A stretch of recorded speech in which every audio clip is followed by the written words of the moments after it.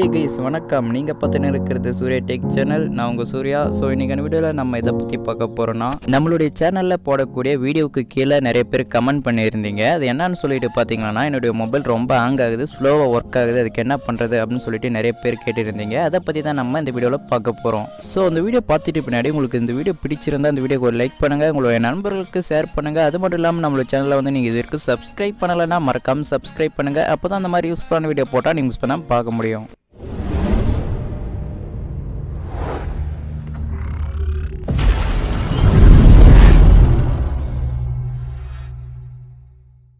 Okay நண்பா இப்போ ஃபஸ்ட்டாக பார்க்க போகிறது உங்களுடைய மொபைல் இருக்கக்கூடிய குரோமை ஓப்பன் பண்ணிக்கோங்க. ஓப்பன் பண்ணிட்டு பின்னாடி மேலே இருக்கக்கூடிய அந்த த்ரீ டாட்டை ப்ரெஸ் பண்ணீங்களா ஹிஸ்ட்ரி அப்படின்னு சொல்லிட்டு வரும். அதை கிளிக் பண்ணி ஓப்பன் பண்ணுங்கள் அப்படி ஓப்பன் பண்ணீங்களா நீங்கள் இது வரைக்கும் கூகுளில் என்னென்ன சர்ச் பண்ணியிருக்கீங்க அப்படின்னு சொல்லிட்டு ஃபுல் லிஸ்ட்டோட அங்கே கொடுத்துருப்பாங்க. நான் வந்து குரோம் தான் அதிகமாக யூஸ் பண்ணுவேன். அதனால் குரோம் ஓப்பன் பண்ணேன். நீங்கள் வேறு எதனா ப்ரௌசர் யூஸ் பண்ணியிருந்தீங்களா அந்த ப்ரௌசரை ஓப்பன் பண்ணிவிட்டு அதுலேயும் நீங்கள் ஹிஸ்ட்ரிக்குள்ளே போயிடுங்க. நீங்கள் இது நாள் வரைக்கும் உங்களுடைய மொபைலில் இருக்கக்கூடிய கூகுளில் என்னென்ன பார்த்துருக்கீங்க? என்னென்ன சர்ச் பண்ணியிருக்கீங்க? அப்படின்னு சொல்லிட்டு ஃபுல் டீட்டெயில்ஸோட ஹிஸ்ட்ரி கொடுத்து கொடுத்துருப்பாங்க. இந்த ஹிஸ்ட்ரியை நீங்கள் டெலீட் பண்ணால் மட்டும் தான் உங்களுடைய மொபைல் வந்து கொஞ்சம் ஸ்பீடாக ஒர்க் ஆகும். அந்த ஹிஸ்ட்ரியை கிளியர் பண்ணுறதுக்கு அந்த ஹிஸ்ட்ரிக்கு மேலே கிளியர் டேட்டா அப்படின்னு சொல்லிட்டு ஒன்று கொடுத்துருப்பாங்க. அதை கிளிக் பண்ணி ஓப்பன் பண்ணுங்கள் ஓப்பன் பண்ண உடனே இங்கே பார்த்தீங்கன்னா செகண்ட் அட்வான்ஸ்டு அப்படின்னு சொல்லிட்டு ஒன்று கொடுத்துருப்பாங்க. அதை கிளிக் பண்ணி ஓப்பன் பண்ணுங்கள் இப்போ இங்கே பார்த்தீங்கன்னா நிறைய லிஸ்ட் கொடுத்துருப்பாங்க. இதில் சேவ் பாஸ்வேர்டு அப்படின்றத மட்டும் நீங்கள் விட்டுட்டு மீதி இருக்கக்கூடிய எல்லாத்தையுமே நீங்கள் டெலீட் பண்ணிட்டீங்களன்னா ஐநூறு எம்பிலிருந்து ஒரு ஜிபி வரைக்கும் உங்களுடைய ஃபோன் ஸ்டோரேஜ் வந்து ஃப்ரீ ஆகும். நீங்கள் ட்ரை பண்ணி பாருங்கள் ஓகே நான் பார்ப்பேன் ரெண்டாவது பார்க்க போகிறது உங்களுடைய மொபைலில் இருக்கக்கூடிய அந்த ப்ளே ஸ்டோரை ஓப்பன் பண்ணிக்கோங்க. ஓப்பன் பண்ணிட்டு பின்னாடி மேலே பார்த்தீங்கன்னா மெனு பார் கொடுத்துருப்பாங்க. அதை கிளிக் பண்ணுங்கள் அதை கிளிக் பண்ணிட்டு பின்னாடி செட்டிங்ஸ் அப்படின்னு சொல்லிட்டு ஒன்று கொடுத்துருப்பாங்க.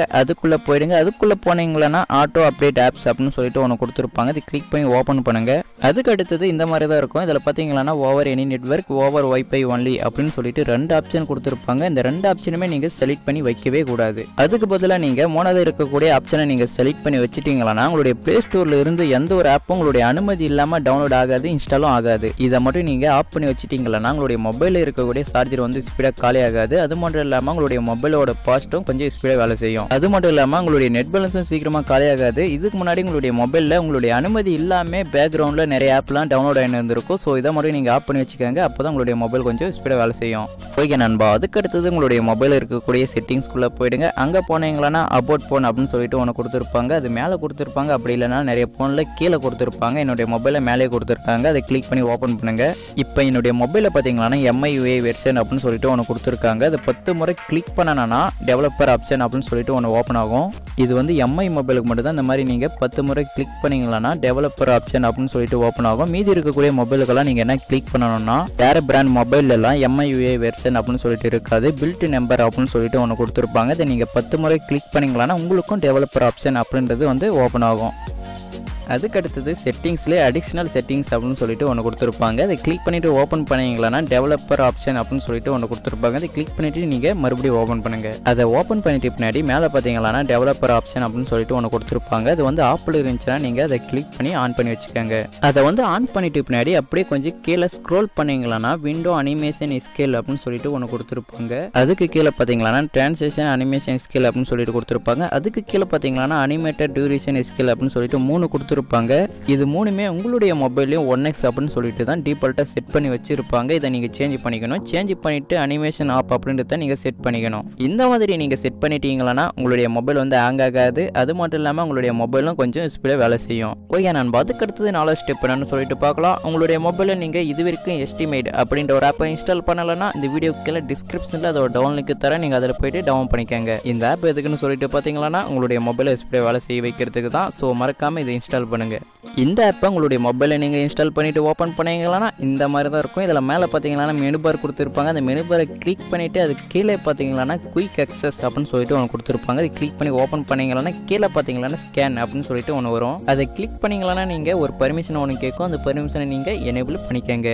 அந்த பர்மிஷனை எனேபிள் பண்ணிட்டு பின்னாடி கீழே இருக்கக்கூடிய அந்த டன் பட்டனை ப்ரெஸ் பண்ணீங்களன்னா உங்களுடைய மொபைல் வந்து ஆட்டோமேட்டிக்காக ஸ்கேன் ஆகும். உங்களுடைய மொபைலில் தேவையில்லாத எதனா ஃபைல்ஸ் இருந்துச்சுன்னா அது வந்து உங்களுடைய மொபைல் ஸ்டோரேஜை அடிச்சு பிரச்சனை இருந்துச்சுன்னா ஆட்டோமேட்டிக்காக ஸ்கேன் பண்ணிட்டோம். அதுக்கு அடுத்தது கீழே பார்த்தீங்கன்னா ரன் ஆகும் அப்படின்னு சொல்லிட்டு ஒன்று கொடுத்துருப்பாங்க.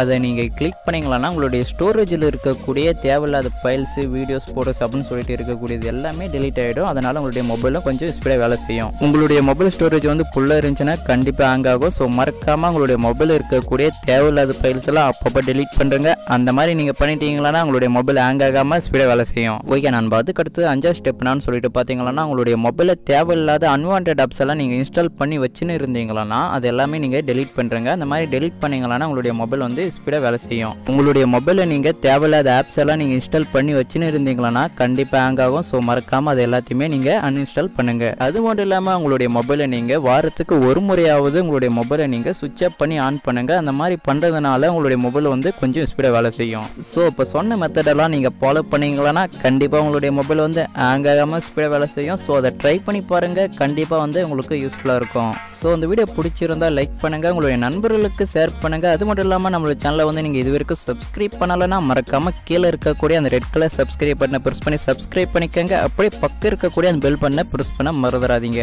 ஓகே நான் பாய் அடுத்த ஒரு நல்ல வீடியோவில் சந்திக்கிறேன். அதுவரை உங்ககிட்ட இந்த விடை பெறுவது நான் உங்கள் சூர்யா. பாய் பாய்